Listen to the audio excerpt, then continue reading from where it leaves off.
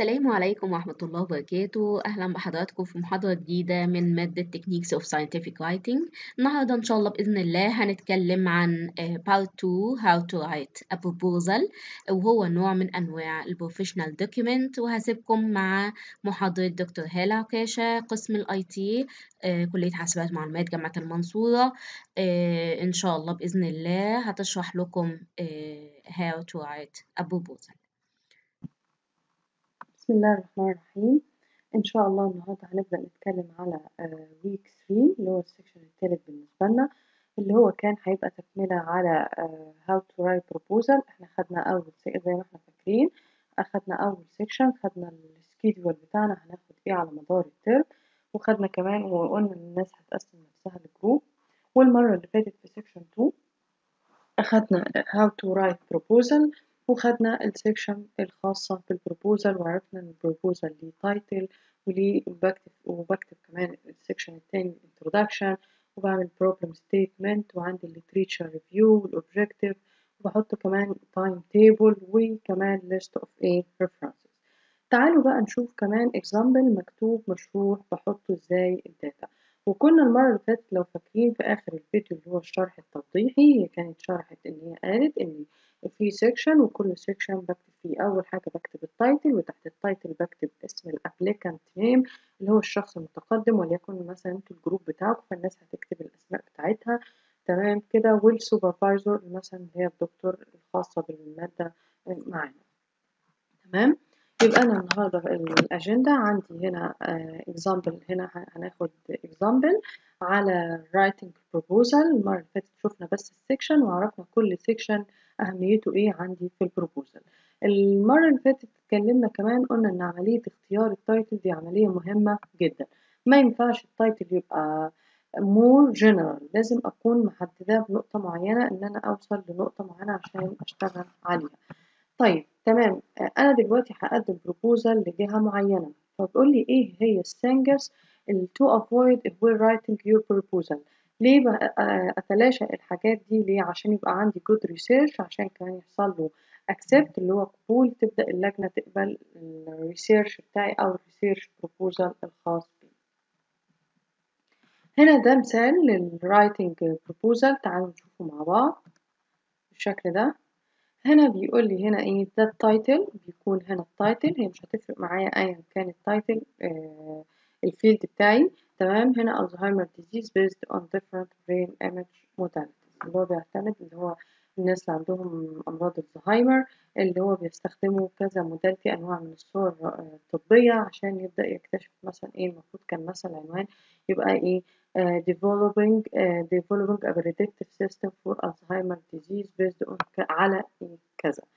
تمام؟ بعد كده هنا بكتب ال applicant name الناس اللي هي الشخص المتقدم. بعد كده بتك... هنا بكتب ال supervisor أو ال supervisor الخاص مثلا واحد وهكذا وابدا هنا. في الأفضل كمان وأنا بقدم ال proposal أنا ممكن أعمل cover لل proposal. يعني ممكن آخد ال title ده في page منفصلة واسيب برضو نفس الفكرة هنا ال title وال applicant واطلع بره خالص في page تانية غير ال page اللي أنا واقفة فيها.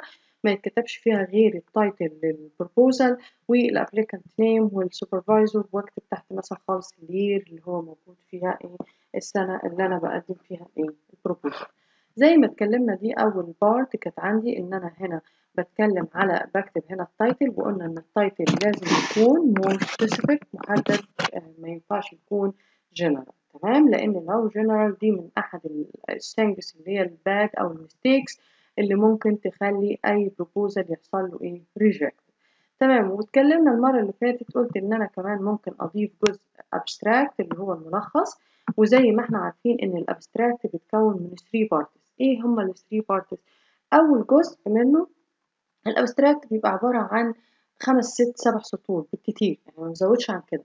بس 3 parts ال part الأولاني إداني overview عن الموضوع. بجمله بسطرين. آه، تاني حاجة ال part التاني اتكلم عن ال methodology اللي هيستخدمها. تمام؟ تالت حاجة إيه ال achievement اللي هو متوقعها إن هي يحققها من خلال استخدام الايه ال methodology بتاعته أو إيه النتائج ال anticipated اللي هي متوقعة الشخص يحصل عليها لما هو بيقدم على ال proposal ده عشان يبدأ يقدمه للايه للجنة معينة. تمام؟ زي ما اتفقنا إن ال abstract بيكون ما بزيدش مثلا بيتراوح من 150 ل 200 إيه word تمام؟ بعد كده هنتك... هنا قال لي هنا. اللي هي عبارة عن مين؟ ال background بيقول لي ال general overview research area and the literature the literature. ممكن نضغمهم مع بعض أو بس يبقى أنا عارفة إن في section. ال introduction بيديني background عن الموضوع أفهم إيه الموضوع وإيه المشكلة.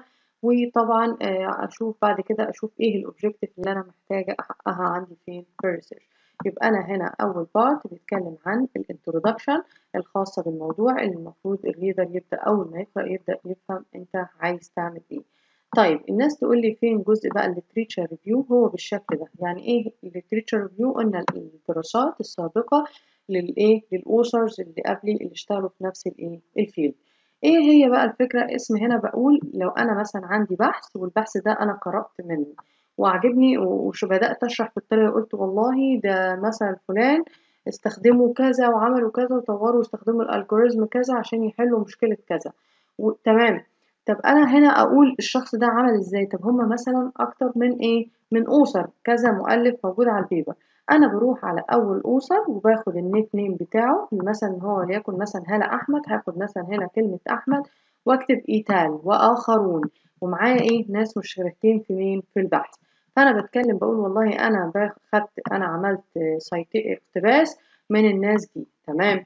إن أنا قلت إن هو اتكلمت عن شغل ال authors الخاص بالشغل مجال الشغل الخاص قريب لايه لشغل وقلت وإيه و et al أمال إيه الرقم اللي ما بين square bracket دول ده الرقم اللي أنا بديه للمرجع تحت. أنا هنا بقول أنا بشاور إن دي ال details بتاعت الناس دي موجودة في المرجع رقم ثلاثة هنزل أشوف مين ال authors هشوف ال title بتاع ال paper هشوف السنة اللي اتنشر فيها أما نشوف في مجلة المجلة دي بيبقى ليها عدد.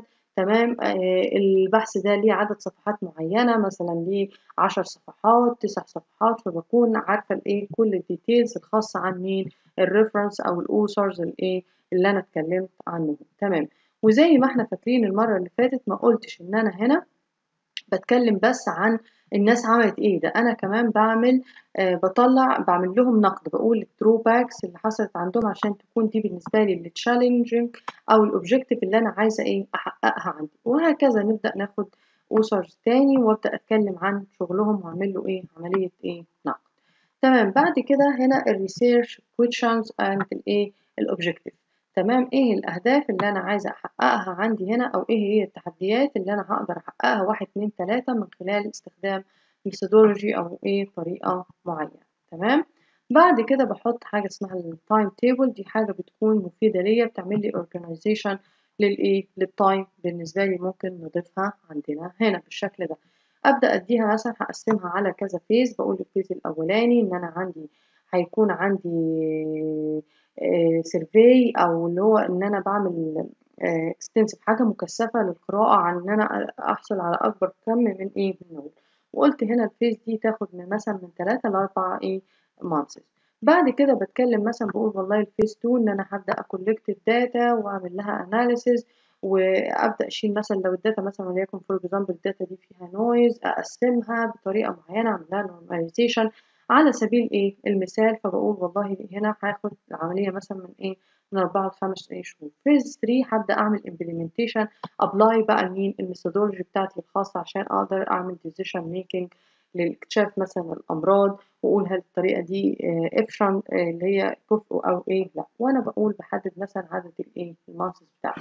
مثلا phase 4 هبدأ أعمل testing لل proposed system أو اللي هي الطريقة اللي أنا ابتكرتها أو طورت فيها يعني. تمام؟ وببدأ أ compare ما بين ال results اللي عندي هنا. تمام وأطلع النتائج بتاعتي. وأقول أنا مثلا الشغل ده ياخد من كذا لكذا. بعد كده اللي هي إيه عملية ال analysis وال documentation إن أنت تبدأ تعمل عملية الايه ال writing لل research بتاعك أو ال documentation للايه هنا.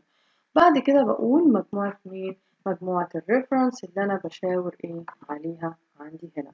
يبقى هنا دي مجموعة ال reference وحتى لو جيتوا لاحظنا هنا كنت بقول رقم ثلاثة واسم الإيه؟ الشخص ده ومين معاه authors اللي هم ال et al الأخرون اللي كنت قلت عندهم. وده بالنسبة لي ال title of ال paper ده عنوان ال paper تمام. واتكلمنا قلنا إن هي هنا ال paper دي منشورة في سنة 2017 وال pages بتاعتها في المجلة عندي بيكون ليها start و end بتكون عدد الصفحات بتاعتها بتبدأ من 188 ل 194 تمام؟ يبقى هنشوف بعد كده إيه ال editor اللي بنستخدمه عندنا نبدأ نشوف ي manage مين ال list of إيه references تمام؟ يبقى أنا هنا دي بالنسبة لي ده كان examples إن أنا خدت شفت هنا بالشكل ده إن أنا عملت proposal كتبت ال title كتبت ال applicant name اسم المتقدم تحت إشراف كذا مثلا الدكتور اللي هو مشرف على الايه الشغل معاه تمام؟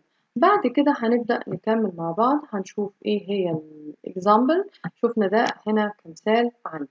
بيقول لي إيه بقى هي things to avoid with writing your proposal إيه هي الأشياء اللي أنا أتلاشاها وأنا بكتب ال proposal بتاعي؟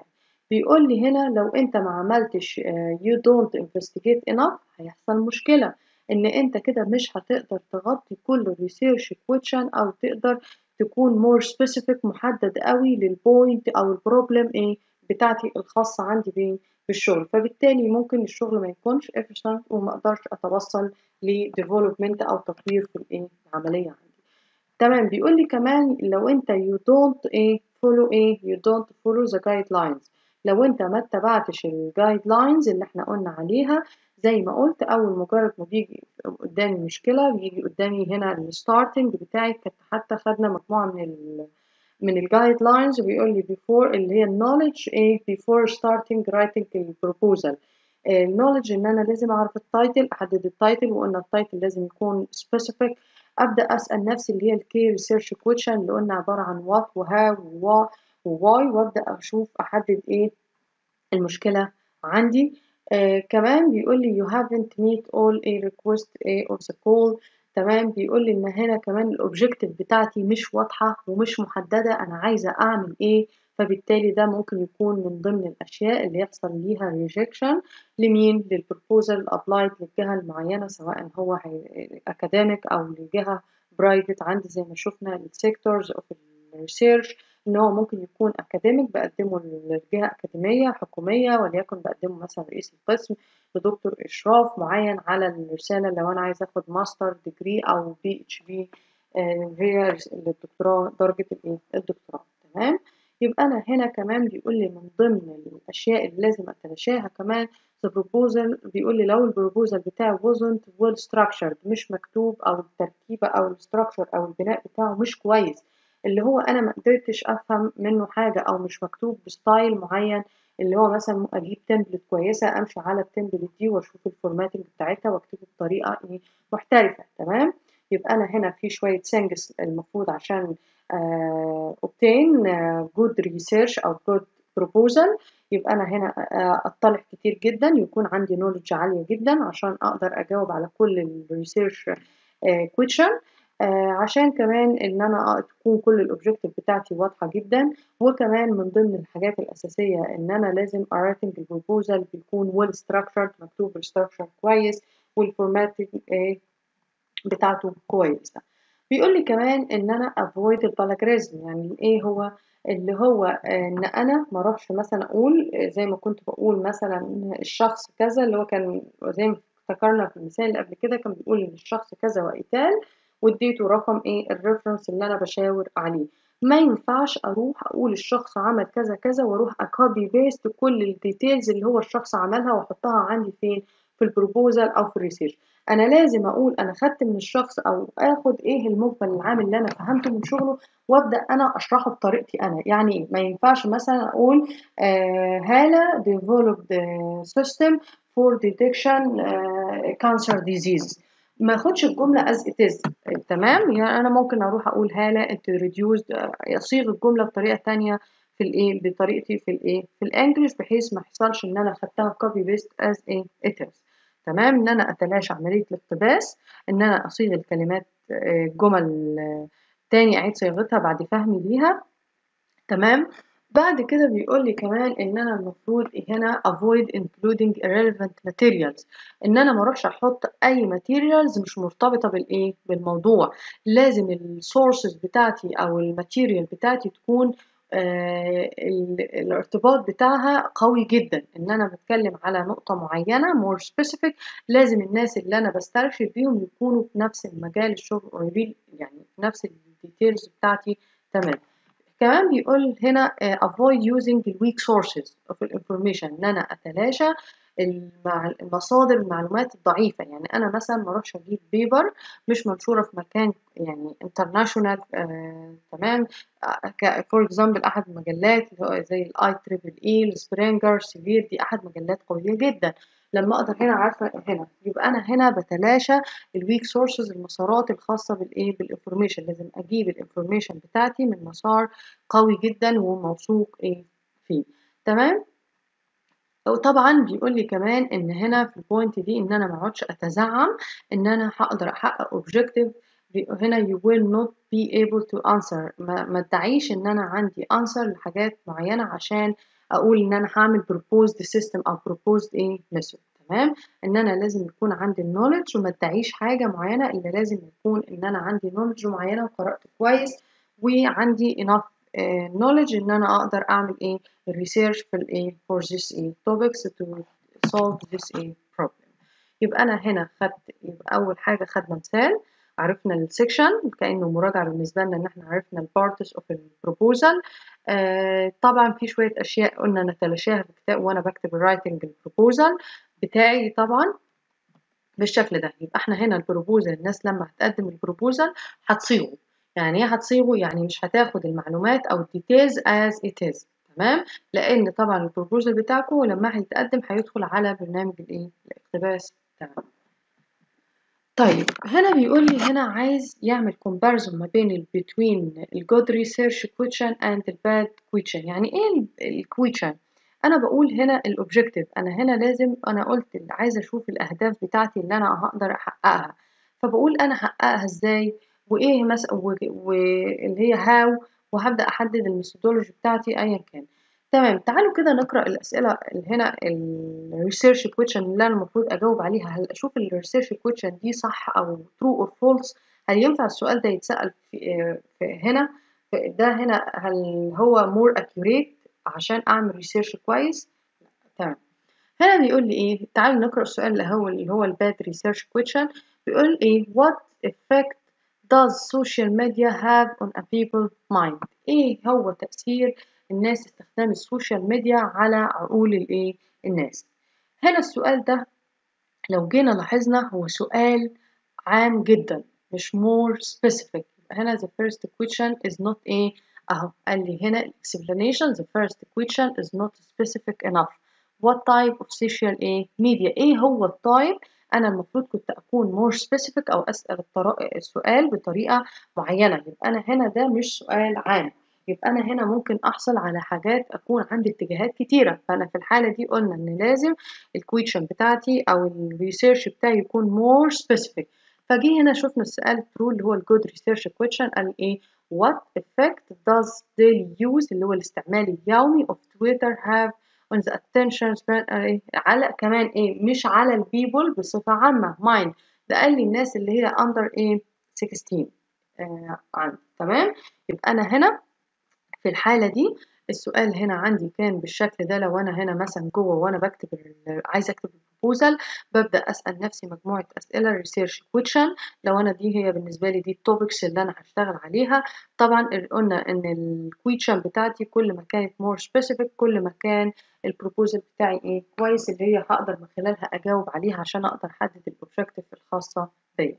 تمام؟ اللي هو بيقول هنا برضو نفس السؤال بيقول إيه ليه بيو يوجد اللي هو ناس اللي هي التشرد الناس اللي ملهاش مأوى في إيه؟ في هولندا.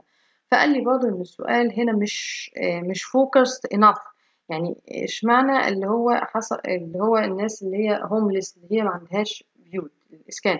فهنا بدأ كمان هنا يخلي السؤال more إيه؟ specific أكتر. وقال إن هو مثلا اللي هو السكن مثلا الجامعي إن الناس اللي مش قادرة اللي هي فيه الناس مش بتسكن فيه تمام؟ نفس الفكرة هنا بيقول إن الباء هنا في ال bad research question بيقول لي does the USA or UK have a better health care system فقال لي برضو نفس الفكرة ال first question is too broad. اللي هو برضو المجال بتاعه اللي هو ال umbrella اللي هو تحتيها المج... sorry يعني إن هو برضو مش specific. يبقى هنا جه هنا سأل سؤال بطريقة تانية. How do you the USA and UK compare the health outcome? And the patient اللي هو بدأ يقول لي آه إزاي هم بدأوا يقيسوا ال outcome أو رضا ال patient كمان الناس اللي ذوي الدخل آه وكمان وعندهم أمراض إعاقات ذوي الايه الإعاقات أو ذوي الايه الأمراض. هنا حدد ال point معينة تمام؟ يبقى إيه وهكذا عندي بعض الايه ال example هنا.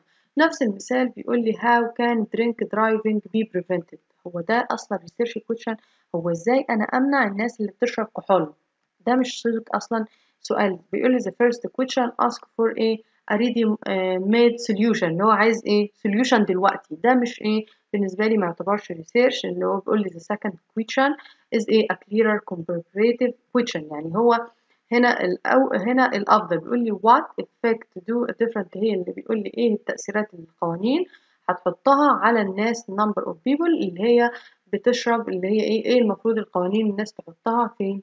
في مثلا في دول العالم أو اللي هو في أوروبا وهكذا. تمام؟ Alright, so today let's talk about how to write a research proposal. What should be in it? Whether it is a research proposal for a bachelor study or a master study or a PhD project, roughly speaking, the general steps are similar and the main components are more or less the same. So in this video, let's talk about these general stuff, roughly speaking. First, here's an obvious question. What is a research proposal? What does it do? When we're writing a research proposal, we're essentially just proposing to do a research study. We need to tell the reader what is it that we want to research, what is the question that we want to have answered, and how this question will be investigated and answered.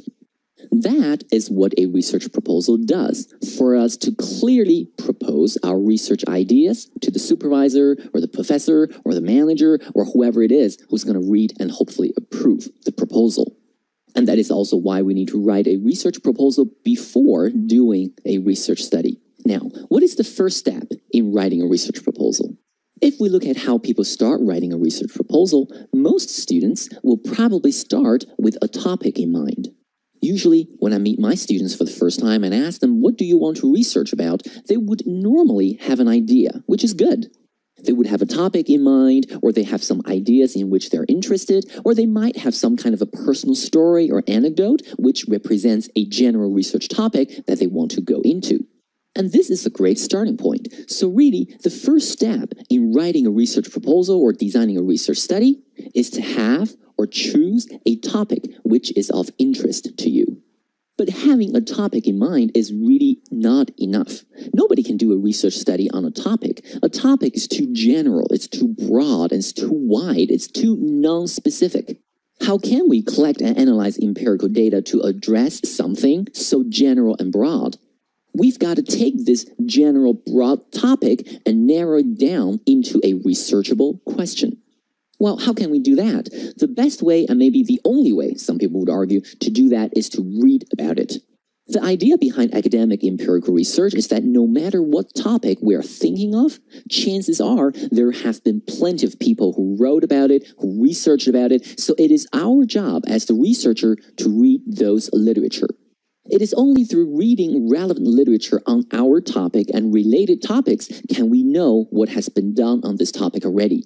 It is only through reviewing relevant literature can we decide on a specific area to focus on or a particular direction to go into from within this general topic which we're interested in.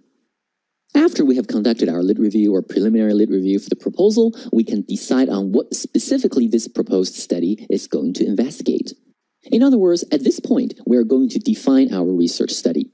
Research definition can come in different forms. Sometimes it is formulating a problem statement and a bunch of research questions. Or maybe your professor will ask you to develop a central research question and a number of investigative questions. Or maybe you will be asked to conceptualize a model for testing. Or perhaps you will be asked to develop hypotheses so that they can be empirically tested. Or maybe your professor will ask you to do a combination of the things that I just mentioned. But regardless, the idea is to clearly define what this proposed study is going to investigate, be it in the form of questions or hypotheses or models or any other way, shape, or form. You will notice here that research definition or the formulation of main research questions is generally done after the literature review, which means our central research questions shouldn't be answered by the lit review. They should be answered through the collection and analysis of empirical data. I mean, if your research questions can all be perfectly answered just by reading literature, textbooks, and articles, then what is really the point of conducting empirical research? Okay, now that we know what our proposed study is going to investigate, next we need to decide on how this investigation can be carried out. In other words, we need to make some methodological decisions for this proposed study. In this method or methodology section of the research proposal, most universities and colleges would probably ask for the following aspects to be clarified. Research design, data collection instrument, sample, procedure, planned data analysis, ethical considerations, and maybe budget. So let's take a look at them all. Under research design, you're expected to explain which type of research your proposed study is going to fall under. Is it exploratory, descriptive, correlational, causal, etc.? There are different kinds of research typologies and research designs, and for those of you who are interested, I have several other videos on this topic, so please check out the links in the description box. Usually, as we propose a study, we need to be able to determine what type of research it is and motivate why it is so. And that is why many times research design or research type needs to be clarified as the first element of the method chapter. Because after all, the type of research may indicate or even dictate to a large extent what methodological approaches are required. Next, we also need to indicate in the proposal what kind of empirical data is needed for this study and how we are going to collect those data. For most business, management, economics, and social sciences programs, students are still required to collect some empirical data in their thesis research. In other words, most of the time, we cannot just do a big literature review and then call it our research thesis. So in the proposal, we need to clearly say whether we need qualitative data or quantitative data or both, and why do we need them.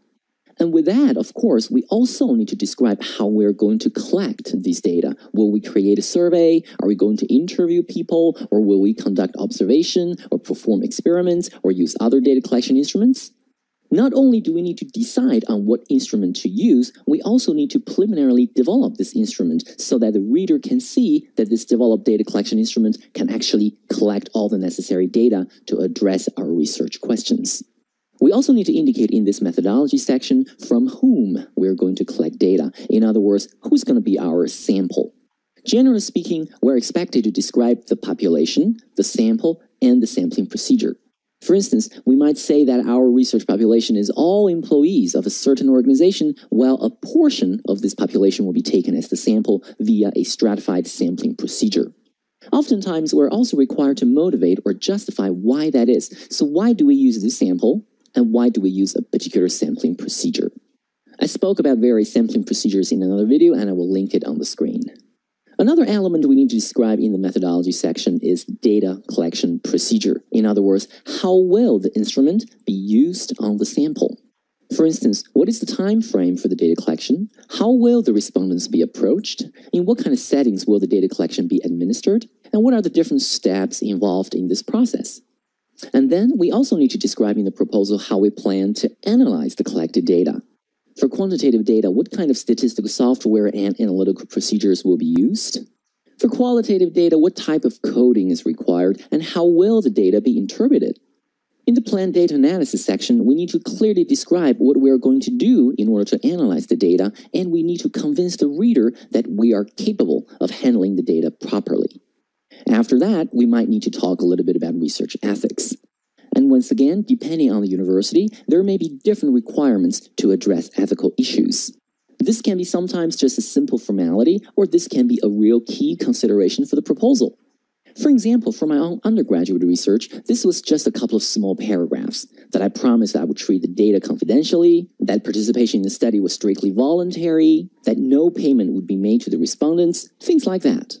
But for my doctoral research proposal, this was a much bigger deal. I had to sign a scientific researcher ethical code of conduct. My proposal had to be reviewed and approved by an ethics committee. So ethics was a much bigger deal for my doctoral research project. But in general, if you're writing a research proposal for your own bachelor's or master's thesis, this section wouldn't be too difficult. Just follow the instructions given by your faculty and most likely you will be fine.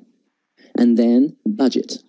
This is also something that's more of a formality because for most bachelor's and master's dissertations, you are the one who has to pay for the costs involved in carrying out the research. So it is really your own money for everything. But of course, it is good that you list out everything and calculate how much money you might need to spend.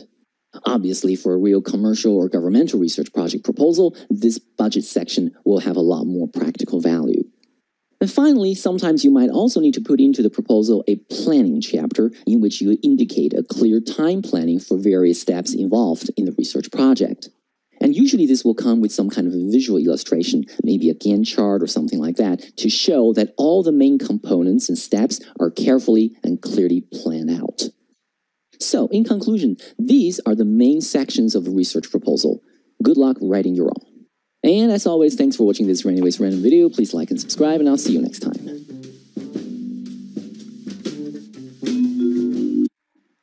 وزي ما شفنا مع بعض هي نفس الحاجات اللي إحنا شرحناها ال section of ال proposal وايه ال things اللي المفروض اتلاشى اللي هي أتلاشاها من حدوثها إن هي, هي تكون عندي موجودة في ال proposal نفس الفكرة كان بيقول إن ال title طبعا لازم يكون specific ال sources تكون قوية. إن أنا عندي literature review اللي هي إن أنا هي مرتبطة related بال problem الخاصة بيا. وهكذا بدأ يتكلم على مجموعة ال content أو ال sections الخاصة بمين how to write a proposal. And uh, بالاخص كمان اللي هو how to write a good a research in proposal. كده بنكون وصلنا لآخر ال section النهارده مع بعض.